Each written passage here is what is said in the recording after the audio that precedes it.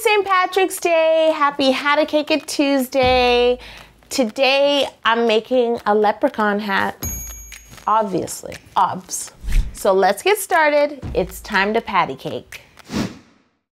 First, I need to remove my four nine inch round chocolate cakes from their pans, level them, and cut them all in half.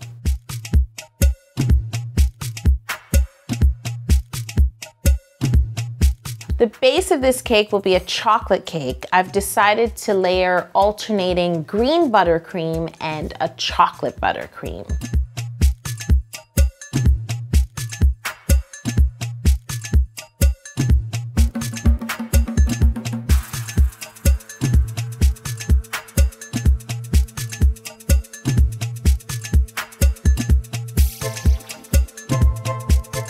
Once I've layered my top half and bottom half of the cake, I'm gonna put them in the freezer to chill.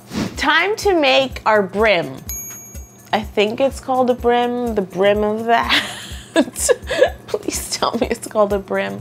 I'm gonna roll out my green fondant into a circle. I'm gonna lay mine on a plastic platter to let it set. I line that platter with icing sugar so it doesn't stick trim the edge, and then I put it aside to dry. You should let your brim set for about three days. We're gonna cut out our belt buckle and we're gonna cut out the accessories for it. So the little sort of hooky thing that hooks into the buckle and the little holes, and we're gonna set them aside to dry. If you know what the hooky thing is called, just write it below because I need to know. When my belt buckle is dry, I'm going to rub it with some vegetable shortening and then I'm gonna use real gold leaf. Gold at 24 carats is actually edible and I'm gonna use that and brush it on the buckle so that the buckle is really brilliant and shiny because it's the one sort of accessory on the leprechaun hat that makes it. Let's get back to the cake. I'm gonna start by carving the bottom half of the hat. The reason I do the hat in two sections is because it's so tall it might collapse on itself. So I use the middle board um, to sort of guide me as I cut inward and carve the bottom half of the hat. We need to dowel this bottom half before we add the top half of the cake and the dowels just help to support the hat and stop it from collapsing. Now that my dowels are in place, I'm gonna place the middle board on the cake and place the top half of the hat onto the bottom half. And then, abracadabra, I'm gonna flip that whole hat over just to make it easier to carve. My cake is flipped so I can begin to carve what is now the top half of the hat. So I carve from that middle board out to the edges. Now I flip it back over and I crumb coat the entire thing with buttercream. We crumb coat a cake so that we can glue all of the crumbs from the cake to the cake. It's not about getting a perfect icing the first time around.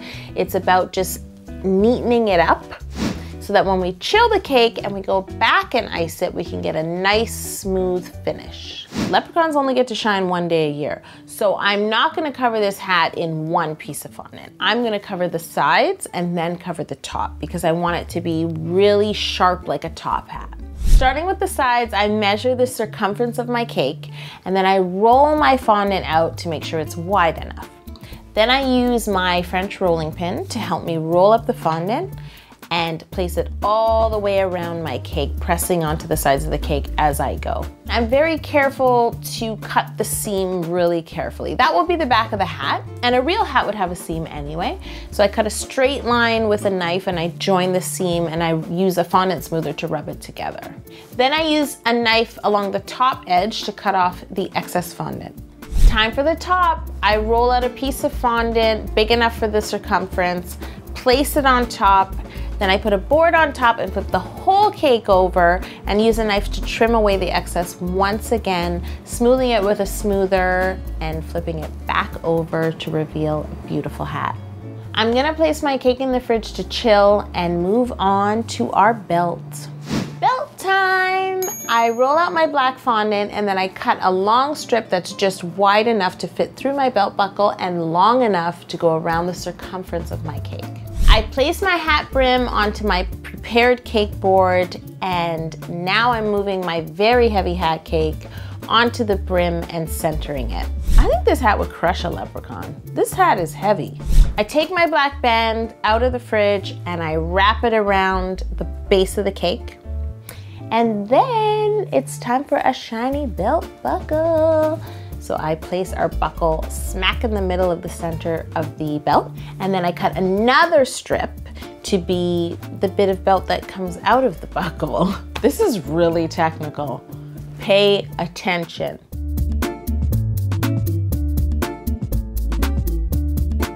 I really wanted this cake to be fun from the outside in. So when I cut into this cake, we're gonna see the green layers inside and the beautiful velvety chocolate buttercream and the chocolate cake and the green fondant on the outside. And it's just gonna look delicious and taste delicious.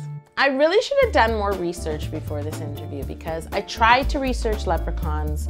There are no leprechaun facts, really. It's just, it's like they're make-believe. Let's stop talking about it. Let's just eat it.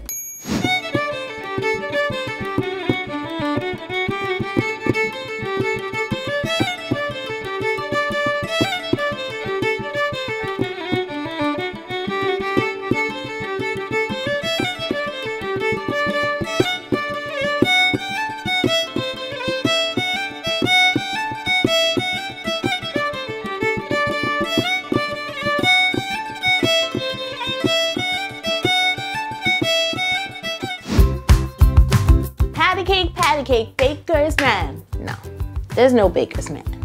Patty cake, patty cake, Yolanda.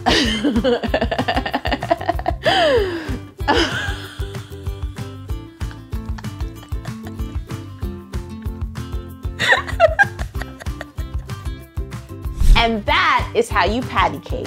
I can't wait to see you next week on How to Cake It Tuesday. Don't forget to subscribe to this channel.